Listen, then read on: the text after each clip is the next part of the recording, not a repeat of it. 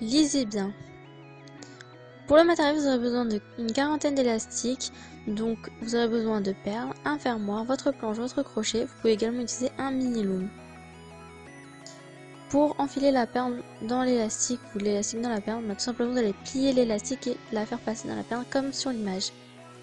On va commencer tout de suite les, tutos, donc vous avez besoin de deux picots. Alors vous allez prendre un premier élastique, vous allez le mettre, le placer en 8. Ensuite, vous allez reprendre un autre élastique, vous allez le placer tout simplement normalement. Vous allez en prendre un deuxième, vous allez faire la même chose. Vous allez prendre votre crochet et vous allez chercher le dernier élastique qui était en 8 et vous allez le remonter par-dessus les deux plots. Ensuite, vous allez reprendre un autre élastique et là, ça va être un peu compliqué. Vous allez rentrer dans le deuxième élastique à l'intérieur en fait et aller chercher le dernier. Voilà, à l'intérieur. Je sais pas si vous comprenez, mais c'est un peu compliqué à expliquer, donc regardez bien les images surtout. Voilà. Hop. Ensuite, vous allez voilà, un peu un tirer pour que ce soit plus joli.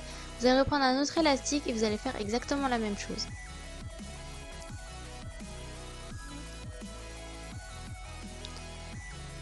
Voilà, ensuite vous allez prendre un élastique avec une perle. moi j'ai choisi bleu foncé, bleu clair et blanc. Et je vais tisser de la même manière en fait de rentrer. Donc je vais juste placer l'élastique avec la perle et en fait ce sera la même chose tout au long. Ensuite vous allez reprendre un élastique simple et vous allez faire le tissage euh, voilà que vous avez sur l'image parce que je ne sais pas trop comment expliquer ceci.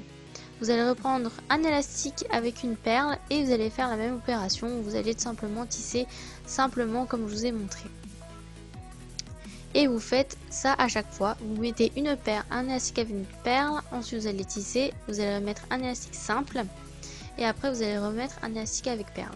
Donc voilà, j'espère que vous me comprenez. De toute façon, il suffit tout simplement de regarder les images. Ensuite, je vais reprendre un élastique avec une perle. Je vais tisser de l'intérieur et chercher le dernier. Et je tire un petit peu de façon à ce que ce soit voilà. Donc là j'ai un peu avancé. Donc je mets un élastique simple. Je prends l'élastique le dernier élastique par l'intérieur. Ensuite je prends un élastique avec une perle. Et je vais euh, aller à l'intérieur prendre l'élastique le dernier élastique et le remonter je prends un élastique simple je vais aller à l'intérieur chercher le dernier et que je remonte sur les deux plots voilà, ensuite je prends un élastique avec une perle, je le place, je vais chercher à l'intérieur le dernier élastique que je remonte par-dessus les deux plots. Ensuite je prends un élastique simple, je vais à l'intérieur, je vais chercher le dernier élastique que je remonte par-dessus. Je reprends un élastique avec une perle et je le place, etc. etc. j'espère que vous m'avez compris ce que je. Sinon je vais répéter euh, beaucoup de fois et c'est un peu énervant.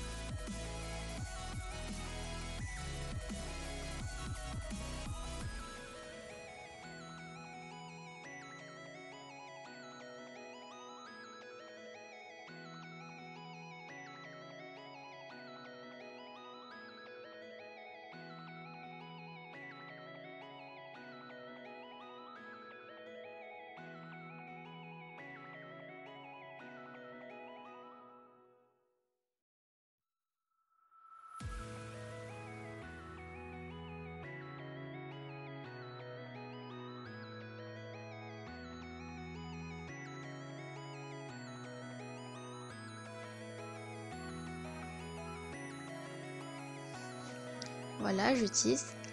Alors là, je fais un peu le tour de mon poignet pour voir un petit peu près, un peu près euh, si ça a la bonne taille. Ensuite, c'est parfait. Je vais chercher. Là, j'ai pas placé d'élastique, il en restait deux. Donc, j'ai remonté un, euh, les deux derniers élastiques par-dessus, sans passer à l'intérieur. Après, je prends les deux élastiques sur mon crochet, je les place sur mon crochet et je mets le fermoir. Et voilà